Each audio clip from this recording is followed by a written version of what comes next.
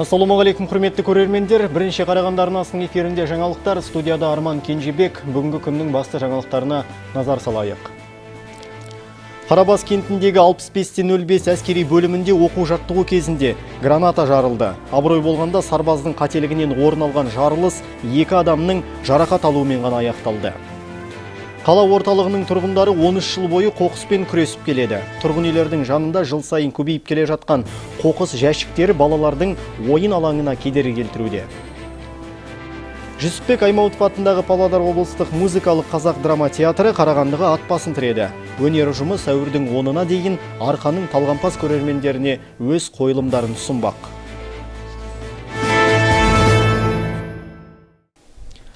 Бүгін Абай ауданына қарасты Қарабас кентіндегі 65-05 әскери бөлімшесінің оқу жаттығу алаңында граната жарылды. Тәжірибесі аз сарбаз РГД 5 атауымен белгілі жарылғыш сатынан өзіне жақын жерге лақтырған. Абырой болғанда әскери қызметтегілер аса ауыр жарақат алмады. Тақырыпты тілші жалғастырсын. Мынай лақтырғаннан кейін не аз жай лақтырдың ба немесе қатты лақтырдың ба тура окоптың үстіне түсіп домалап жерге окопқа қарай құлап қалды. Сол кезде мен лақтырған бойда бірден отыра қалдым.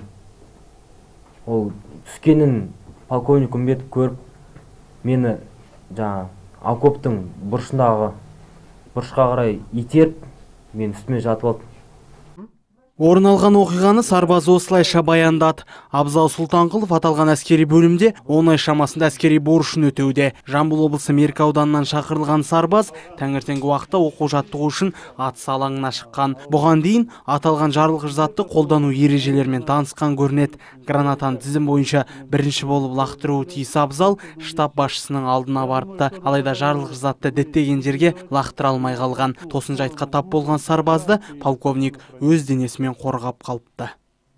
Өзінің денесімен мен қорғап мен астында қалдым.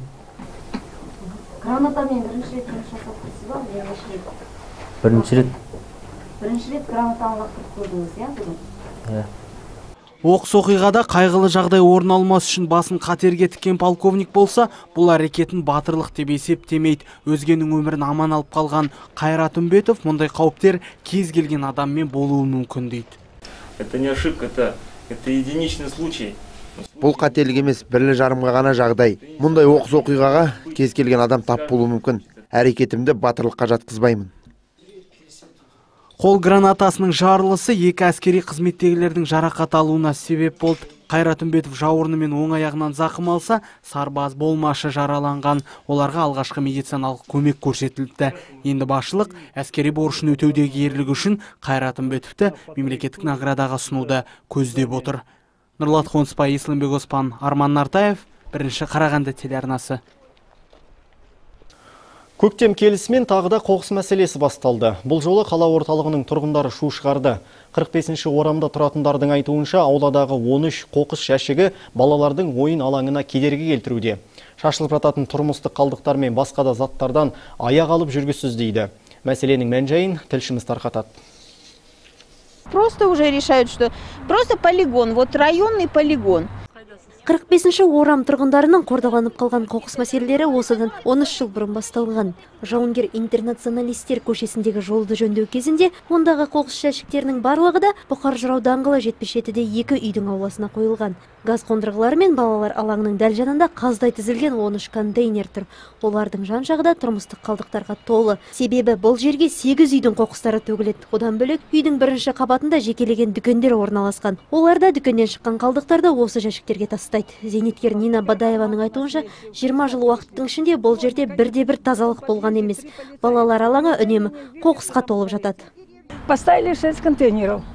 Бұрындары алты контейнер ғана болатын. Кейіннен тағы да қосты. Сөйтіп барлығы 13 болды. Аула тазалығы дегеннен жұрдаймыз бұны қойшы бәрінен бұрын түнде біреулер мына қоқыстарды жағады. Әр жағында газ қондырғылары тиіп тұр. Өрт соған жетсе не болды? Атылып кетпейміз бе? Жан жағын қараңызшы салақ әйелдің үйі секілді. Мынау деген масқара ғой. Мен осыншама жыл өмір сүріп осындай ортаға тап болам деп те ойламаппын. Тұрғындардың айтуынша сегіз үй үшін тұрмыстық қалдықтарды тастауға алты қоқыс жәшігі де жеткілікті.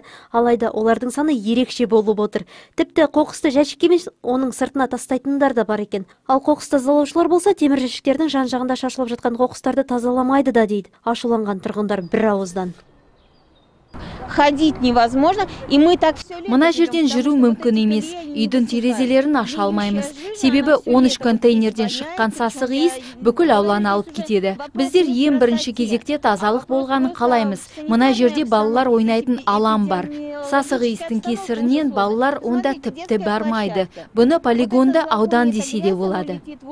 Он үш жыл бойы тұрғындар талай рет әкімшілікке тазалық мәселесін сақтау туралы хат жазған. Бірнеше адам қол қойған өтініш ақыр соңында сиыр құйымшақ алынып біткен. Арыздарына қанағаттанарлық жауап алмағандар тіпті елбасына да хат жолдаған. Қол қойған тұрғындар бір ауыздан тұрғын үй коммуналдық шаруашылық басқармасының мәселеге салғырт қарап отырғандарына шағымданған. Айтуларынша жазған өтініштері діттеген жеріне жетпеген секілді. Қолды болған хаттың қай жерде қалғаны белгісіз. Себебі әкімшілік қызметкерлері мына қоқыстарды тексеруге тек бүгін ғана шығыпты. Оның өзінде де тілшілердің түртпектеуімен барған. Теперь мы планируем провести выездное совещание. Енді біз бұл мәселе туралы арнайы жиын өткізетін боламыз. Горком транс мамандарымен, тұтынушылар құқын қорғау өкілдерімен және басқа да органдармен бұл мәселені жан-жақты талқыға салатын боламыз. Ол жерде 13 контейнер тұру керек па, жоқ па деген сауалды шешетін боламыз.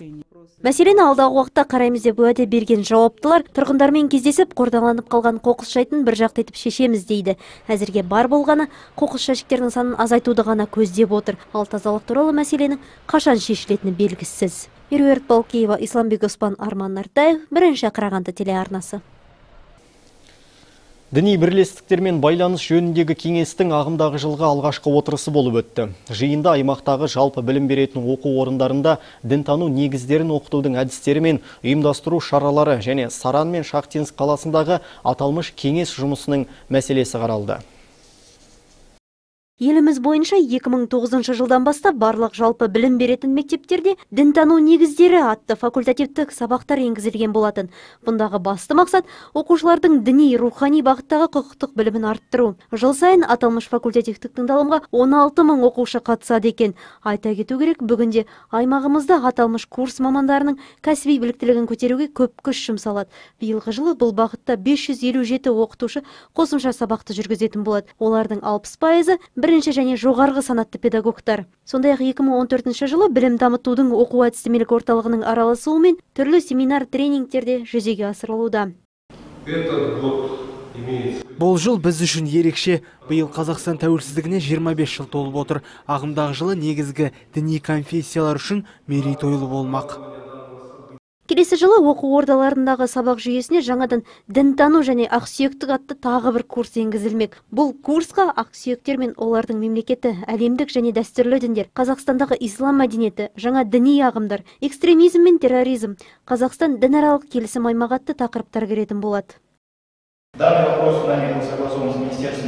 Аталмыш мәселе білім және ғылым министрлігінде көтерілген болатын. Қазір де мақұлданған факультативтік сабақты тарих пәнінің мұғалімдері жүргізетін болады сондай ақ алқалы жиын отырысында саран мен шахтинск қалаларының әкімдері де сөз алды. Шаһар басшыларының айтуынша аймақта діни бірлестіктер бойынша жағдай бірқалыпты тұрақты. Олардың арасында діни ушығу мәселелері орын алған емес.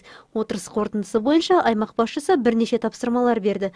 Олардың бірі білім және ғылым министрлігінің бұйрығы бойынша орта білім беру ұйымдарында міндетті мектеп формасын енгізу талаптарын орындау туралы болды. Меруерт балкеева олжас ғаббасов арман нартаев. Бірінші қарағанды телеарнасы. Жарнамалық үзілістен кейін жаңалықтарымызды жалғастыратын боламыз. Біздің арнамыз қосулы болсын ағайын. Көрсетілім демеушісі Galaxy Group компаниясы. Алюгал, Галвин, Херкюль сауда белгілерімен. Галвин А классындағы телеселік жүйесі. Ұзақ мерзімділігі 60 жыл. Галвин профилі. Аязға төзімді, сенімді, берік. Сапаны бағалайтындар үшін.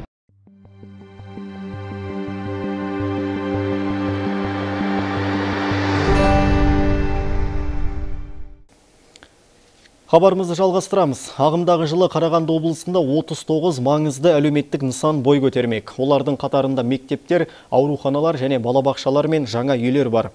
Бүгін облыс басшысының бірінші орынбасары Асылбек Дүйсебаев шенеуніктер мен мердігерлердің басын қосып жиын өткізді. Жиналыста құрылыс саласының жағдайы, оны дамыту мәселелері қаралды.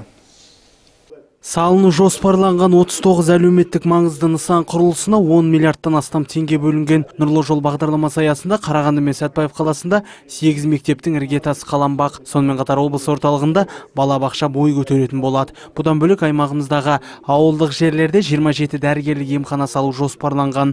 Биыл желтоқсан айында пайдалануға берілетін 200 орынға арналған облыстық балалар ауруханасында тиісті медициналық көмек көрсетілетін болады.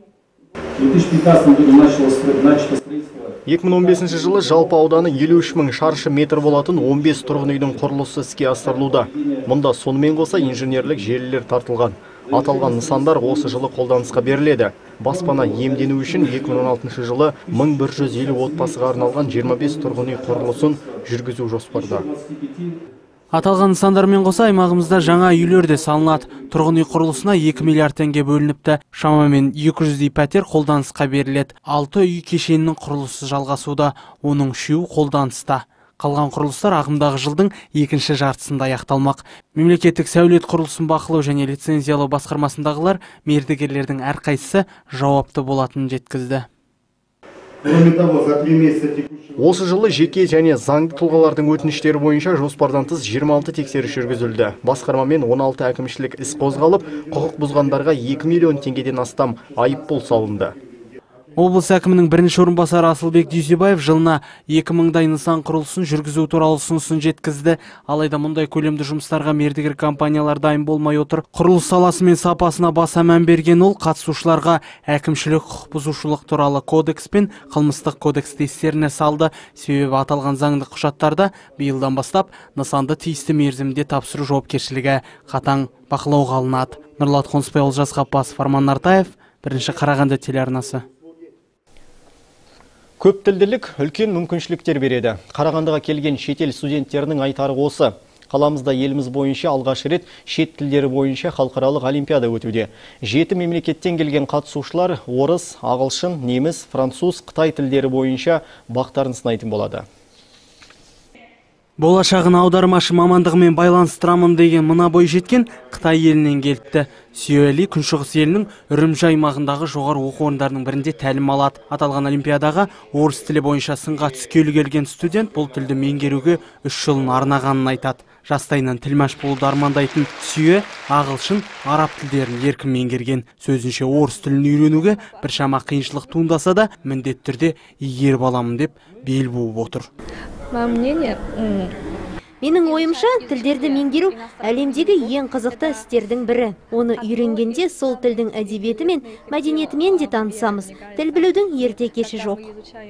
Елімізде алғаш рет ұйымдастырылып отырған халықаралық олимпиаданы өткізуге Евней Бөкетов атындағы Қарағанды мемлекеттік университеті ниет білдіріпті. Аталған шара аясында форумның ашылу салтанаты өтті. Халықаралық деңгейдегі шара барысында бірқатар елдің ғалымдары мен шеберлік сабақтары және дөңгелек үстелдер өткізу жоспарланған. Білім ордасының оқытушылары бүгінгі таңда еліміздің студенттері ағылшын және қытай тіліне деген қызығушылық артқанын айтуда.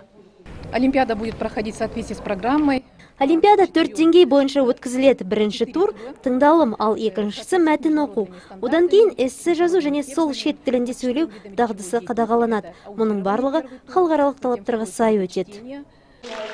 Білім ордасының оқытушылары бүгінгі таңда еліміздің студенттері ағылшын және қытай тіліне деген қызығушылықтары артқанын айтуда. Халықаралық олимпиадаға қазақ тілі бойынша Ресейдің Мәскеу мемлекеттік лингвистикалық университеті қатысуға өтініш беріпті. Мұндағы аударма ісі факультетінде екі шет тілі мамандығының бірі ретінде мемлекеттік тіліміз оқытылатын көрінеді. Алайда аталған додада бәсекеге түсетін қарсыластар болмапты. Ұйымдастырушылар алдағы жылдары қазақ тіліне деген сұраныс артатынын алға тартуда нұрлат қонысбай жақсылық нұртай арман нартаев бірінші қарағанды телеарнасы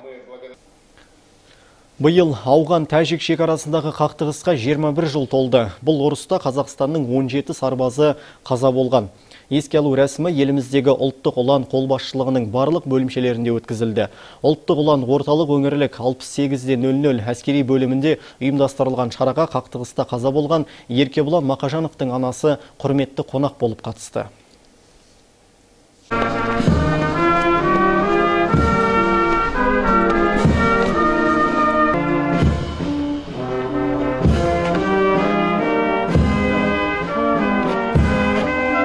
Ауған тәжік қақтығысында сәуірдің жетісі күні еліміздің ішкі әскерінің жеке атқыштар құрамынан 17 жауынгер шейіт болған. 33-і жарақаттанды. осынау ұрыста қаза болған жерлесіміз еркебұлан мақажанов жаңарқа ауданы түгіскен ауылында туған. Еркебұланның анасының айтуынша ел қорғауда құрбан болған баласын қаруластары үнемі еске алады. Батырға туған жерінде ескерткіш те қойылған. Енді тек еліміздің амандығын тілеп отырған кейуана жас ұрпақ та ағаларының ізімен елін жерін қорғауы тиіс дейді.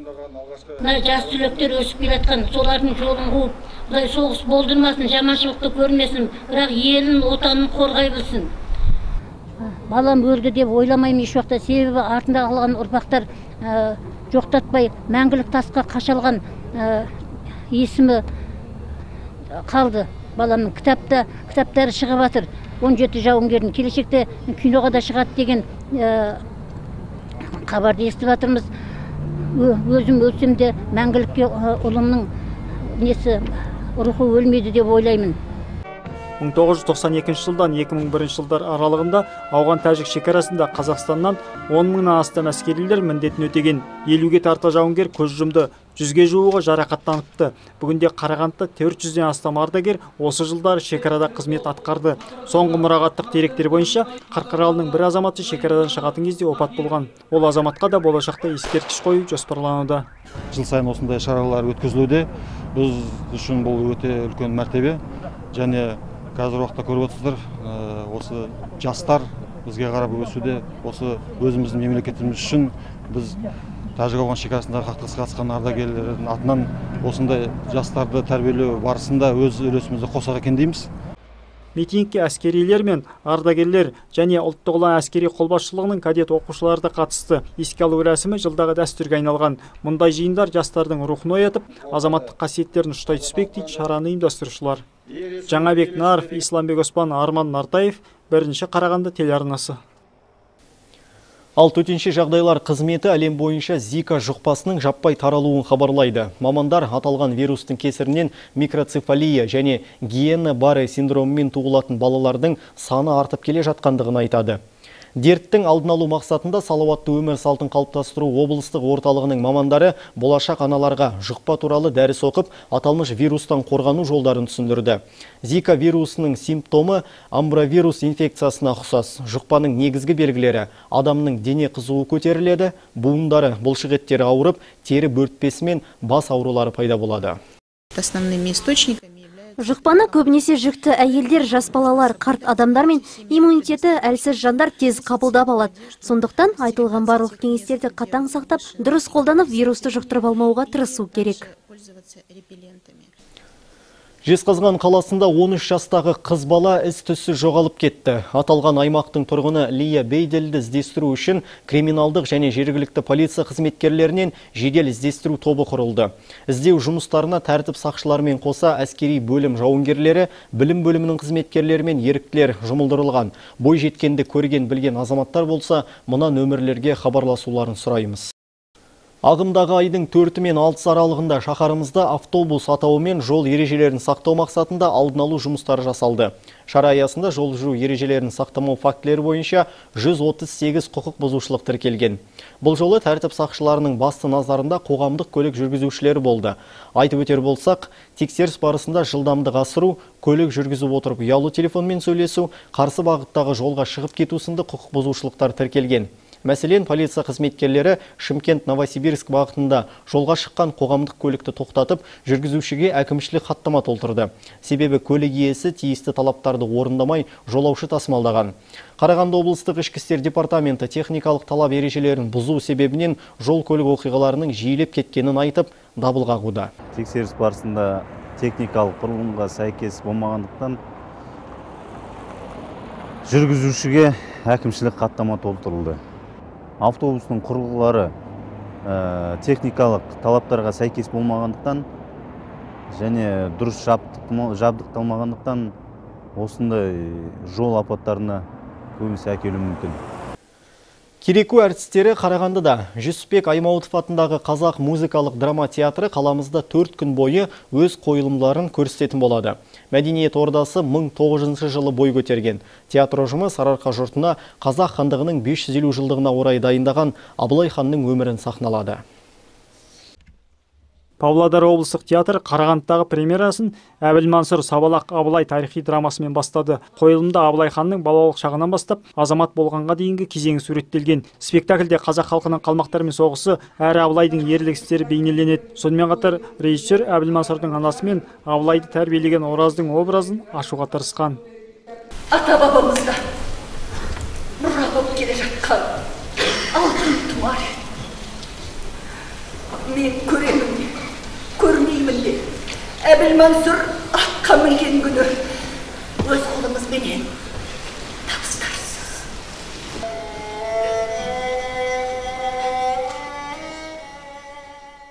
павлодар облыстық театры ашылғанда қарағандылық актерлар да қолдау білдіріп өнер мекемесінің алғашқы уықтарын қадаған. Сондықтан бұл мәдениет ошағы да сәкен театрының ізбасар іспетті екі ұжымның арасында тығыз байланыс орнаған. Бүгінде жүсіпбек аймауытов атындағы музыкалық драма театры қалыптасып дарынды жастармен толығу үстінде дейді қонақтар.